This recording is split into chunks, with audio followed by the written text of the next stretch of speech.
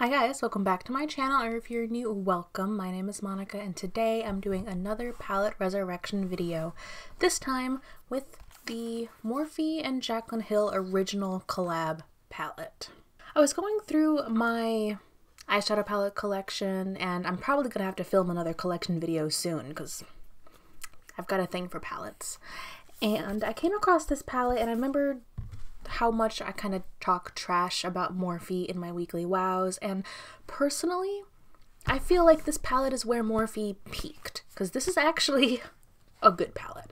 And for someone who drags and rags on Morphe all the time, for me to like say this is an awesome palette, yeah, that being said, it's still fairly big. I do have an issue reaching for really big palettes and really small palettes, so I thought this would be a perfect palette for a palette resurrection since I feel like the majority of people have kind of forgotten about it. So in this video, I'm going to talk about my thoughts on this palette and do three looks, including the one I'm wearing today. I love how this came out. I'm actually wearing lashes again for the first time in, uh, I don't even remember but it was such a dramatic look. I loved the colors, and uh, I'm just, I'm just like remembering how much I actually love this palette. So let's go ahead and jump in. This palette, of course, if you remember, was originally touted as being a limited edition palette with Jaclyn Hill. It gained notoriety and became infamous fairly quickly, so it's still available on the Morphe website to this day. It is still listed for $38 and the description I'd have to say I agree with it. Let me just read that to you real quick. This is not your average eye palette. That would be boring. We, and most importantly, Jaclyn Hill, don't do boring. This palette is a two-year love affair. Okay, maybe, I don't know if it was two years, but what the... 35 brand new OMG eyeshadows that Jaclyn whipped up, formulated, tested, retested, and perfected. They were created to deliver not only the best color payoff, but also amazing application.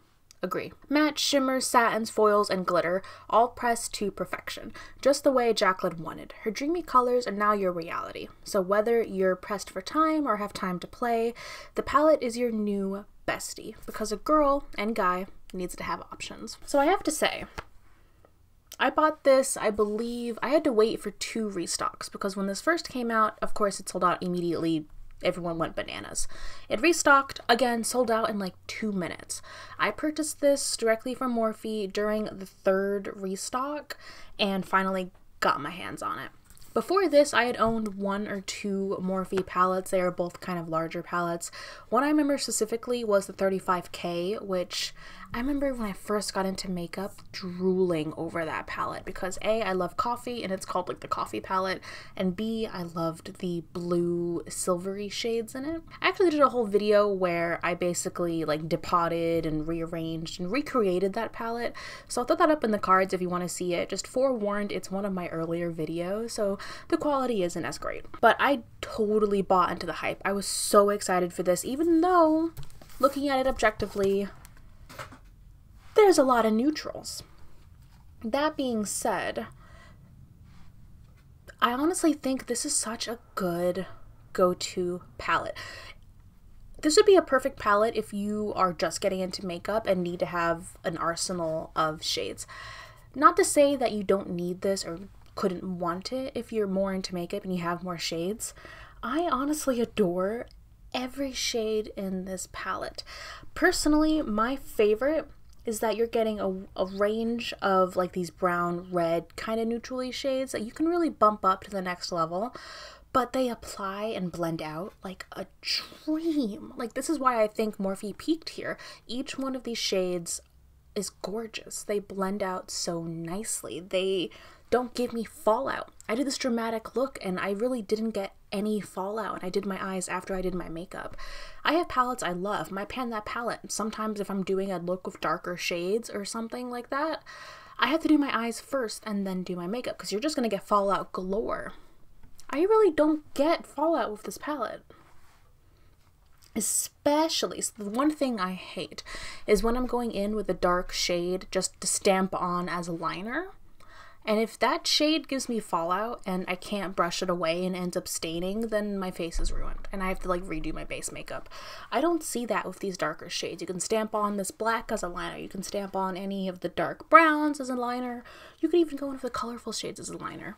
I think that's really what pulls me back to this palette is that I have all of these shade options and that I know they're going to blend out they practically blend out themselves. I don't know, like I feel like this is the only palette from Morphe that I can see where the hype came from and that it's justified. Again, I think Morphe peaked here. I feel like their quality control, I feel like a lot of their things started going downhill after this palette. I feel like currently, like with the James Charles palette, with the, the Morphe or the, the Jaclyn Hill Vault, I didn't touch that with the 10 foot pole, thankfully. I mean, I'm just really confused as to like what happened because this palette is amazing. And then seeing where Morphe is now, it's, I will say I'm confused. You probably couldn't pay me to pick up anything Morphe has done recently, but this palette I will recommend. Even though I can't really recommend a lot of Morphe things, I would recommend the original palette. Maybe pick it up from Ulta so you don't have to buy it directly from Morphe because I've heard Morphe customer service is kind of garbage. Now it's available at Ulta and I think it has different packaging. There was a whole thing about how they redid the packaging because this gets dirty. Of course, it's a white palette with silver interior. It's gonna get dirty. Like like with the ColourPop Yes Please palette, it's gonna get dirty. I haven't seen it get too bad. This is what the palette looks like right now. And I stole this idea from Raw Beauty Kristi. Booty. Raw Beauty Kristi who put the card with all the shade names up here. Honestly, I didn't understand why people were like super complainy about the shade names not being on the palette. It's like if I'm doing a tutorial or with the looks I'm going to show you in a little bit, I'm not gonna I'm not gonna be like, oh, I'm gonna go in with this one and then I'm gonna do this one. It's nice to have, but I'm gonna show you and I'm just gonna point. And if you have the palette, you can look and be like, oh, she's using this one. Like, I don't understand why it was so hyped up that the shade names weren't there. Honestly, like, this solves your problem if you really want to know the shade names. So now that I've just exploded with praise about this palette, let's go ahead and jump into the three looks I created.